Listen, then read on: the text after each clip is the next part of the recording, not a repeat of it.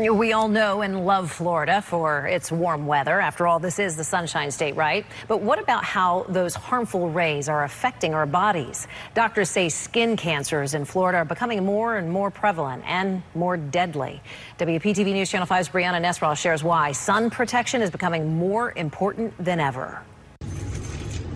It's another day of golf for Steve Barnes. You don't win fashion awards for this. Protecting himself from the sun. It covers your ears, it covers your neck. The avid golfer says he spent his life trying to tan. Until you get older, you don't want to go through this. It, it just isn't fun. 42 years ago, he was told he has basal cell and squamous cell carcinoma, two common types of skin cancer. Did you ever think just a spot would end up being so serious? Uh, no. We didn't know. Nobody ever told us how dangerous the sun would be. Dozens of surgeries and hundreds of stitches later. I don't look at them very often because they hurt. According to the Skin Cancer Foundation, skin cancer is the most common type of cancer.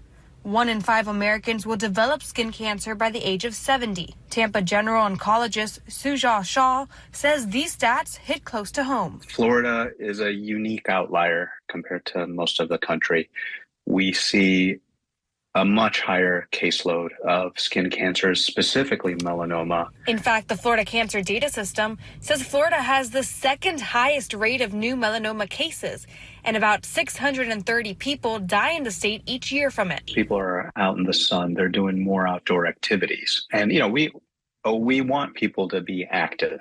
Um, we just want them to be doing these activities, protecting themselves. And as far as those outdoor activities, Researchers in Australia found golfers were two and a half times more likely to be diagnosed with skin cancer than the rest of the population. It's all now a lesson learned for Steve on and off the golf course. Oh, I got my hat, I got my gloves, my sleeves are in my golf bag.